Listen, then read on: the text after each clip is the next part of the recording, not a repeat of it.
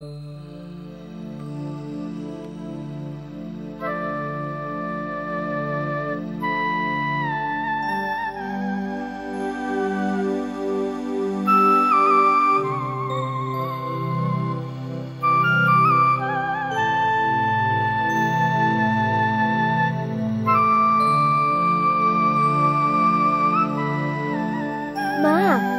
Má tôi xếp quần áo gì vậy má?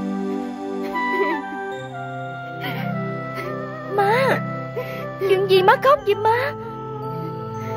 Ông chủ đuổi má với con rồi. Trời ơi Thôi Lo tôi xếp đồ đạc đi đặng đi liền, Đừng có hỏi nữa cô Chắc tại ổng giận cậu Hải, Cho nên giận luôn má với cô Phải vậy không má? Chứ còn gì nữa. Tại ông thấy cậu Hải thân mật với con, Cho nên ông mới đuổi mẹ con mình Thôi hãy liệu mà đi khỏi nhà này. Tại con chẳng nghe lời, của má đã khuyên con. Dẫu rằng cầu hay cố để ý thương con, Nhưng thân phận thấp hèn, Con không biết liệu lấy thân. Má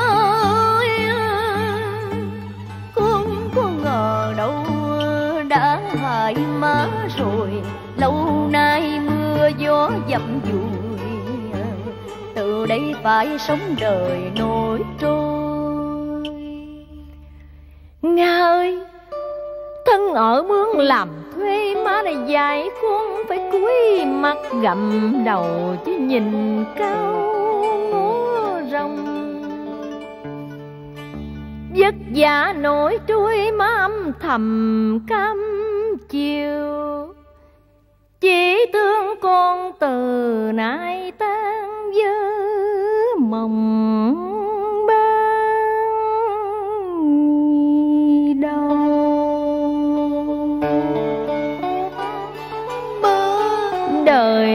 Mấy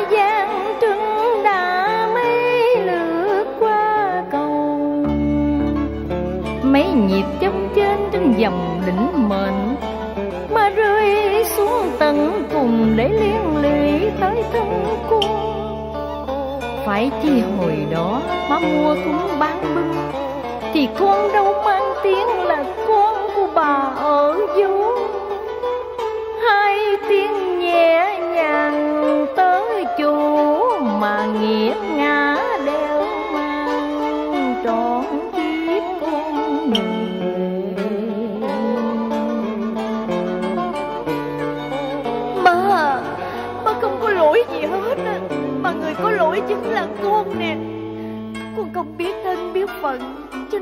mơ ước trèo cao Chính con đã làm liên lụy đến cuộc đời của má Nga ơi con gái nhà nghèo khổ lắm Mà con gái của một người mẹ ở đợi như má Lại càng khổ nhiều hơn con à. Má Má ơi Người ta có coi má là một người ở đợi Thân phận có thấp hèn Dưới thiên hạ chung quanh sao sang long lanh Dìu dắt bước chân con qua trầm luân khổ ai. Con sẽ cố quên đi bóng hình anh hai Để cùng má bình yên trong cuộc sống sau này. Dù con biết rằng anh sẽ nhớ thương con, Và sẽ đau khổ thật nhiều Khi không còn được bên con. Chuyện tình không đoạn kết Chỉ để gieo sầu chuốc khổ mà thôi. Bây giờ cũng không còn cách nào cho mẹ con mình chọn lựa được nữa. Trong nhà này Chỉ có cậu Hải là người thương yêu kính trọng má. Xa cậu Hải má cũng buồn lắm. Nhưng hoàn cảnh này Đành thôi con à. Con hiểu. Mình đi thôi má Con không có ý định giả từ cậu Hải sao con? Từ giả làm gì? Chỉ thêm tội cho người đi kẻ ở mà. À Má ra ngoài trước. Con viết lại cho cậu vài chữ Coi như là từ biệt. Má chờ con ở sau giường nghe con. Dạ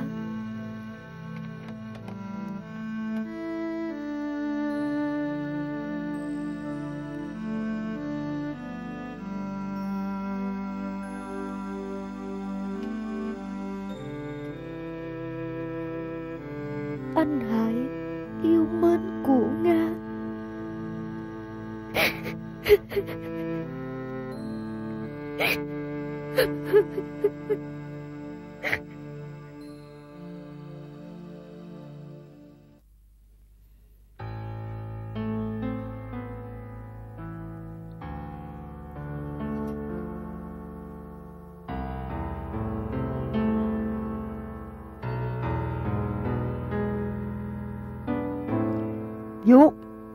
Ủa Vú định đi đâu mà đem hết đồ đạc ra vậy vú? Ông chủ Ông đuổi mẹ con vú rồi nhân à. Trời Ông chủ đuổi vú với cô Nga thiệt sao? Mà tại sao ông đuổi? Ông không cho cậu hai thương con Nga của vú. Vậy mà cậu hai cứ theo nói chuyện với con Nga của chú hoài Cho nên ông mới đuổi đó. Gì kỳ vậy. Nói chuyện mà cũng đuổi nữa. Tại người ta là chủ mà. Còn mẹ con của vú chỉ là người ở đỡ thôi Bộ ở đợ rồi, không phải là con người sao? Vậy chứ cậu Hải cũng im lặng để cho vú với cô Nga bỏ đi vậy sao? Cậu Hải chưa có biết chuyện này đâu. Vậy để con đi kiếm cậu Hải Báo cho cậu biết để coi cậu tính sao. Nhơn Đừng có đi con. Đừng làm cho cậu Hải khó xử mà. Nhưng mà con tức lắm vú à. Cái chuyện này đâu phải là do lỗi của vú với cô Nga Mà lại càng không phải của vú đây Cậu hai là thanh niên đã đến tuổi trưởng thành. Đâu còn nhỏ nhoi gì mà bị người ta dụ. Họ yêu nhau thật lòng thì họ đâu có tội. Nhưng mà người ta có địa vị sang giàu. Còn mình chỉ là hạng tôi tớ trong nhà Trong khi họ cần người hộ đối môn đăng. Nếu như mà vú với cô Nga quyết định rời khỏi nhà này Thì con cũng không thèm ở đây nữa. Con đi theo vú à Nhân. Nhân ơi, vì người ta đuổi, Nên một lòng vô phải ra đi thôi.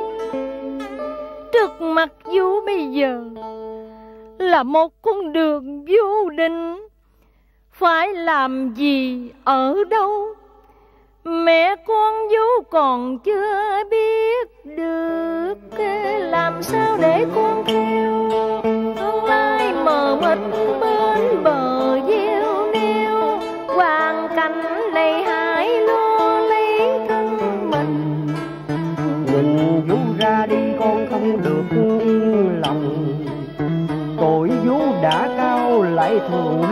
bệnh hoạn Con Nga thì tay mềm chân yêu thế con Mẹ qua con tôi đã quen cùng khổ cực. Con cứ yên lòng sẽ có lúc gặp Vú ơi mười mấy năm nay con đã sống dựa vào tấm lòng của vú mênh mông như lòng của mẹ bao la vô bờ bên Chia sẻ cho con tình thương và cơm máu dạy dỗ cho con điều nhân nghĩa ở trên đời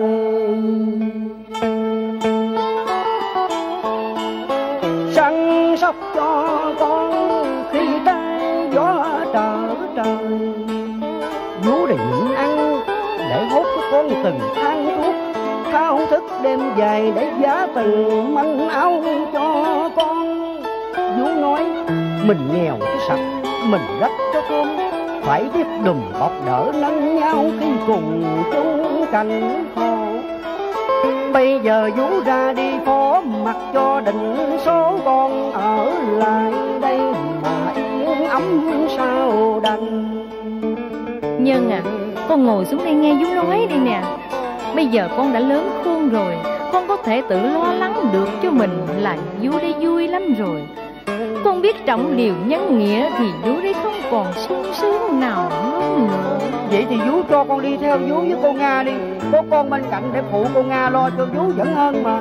Vú cảm ơn tấm lòng của con Nhưng vú muốn con ở lại đây là muốn thực hiện cho xong nguyện ước cuối đời của vú nếu từ trong vòng tay này con khôn lớn nên người, Thì cũng trong vòng tay này Vũ đã nâng niu chăm sóc cậu hai từ khi còn đỏ hon Vũ nuôi nấng cậu hai bằng tình thương của người mẹ. Đã quen nhìn thấy cậu nói, cậu cười hay hờn giận vui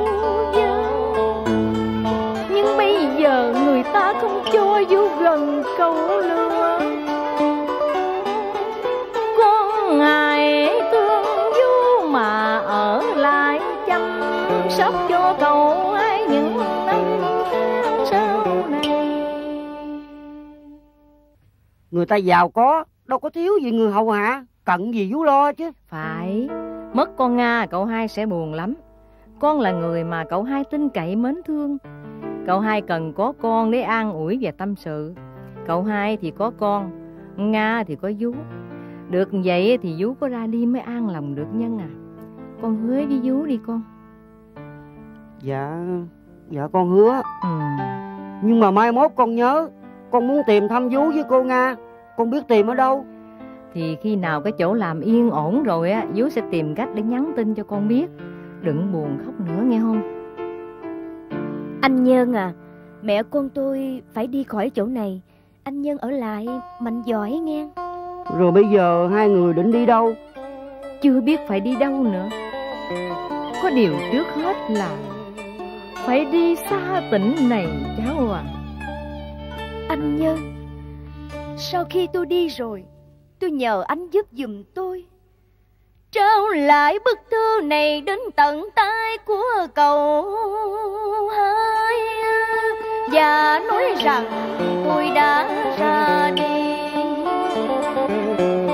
Nhưng vẫn không quên những tình cậu đối với tôi Trong ba bốn năm qua.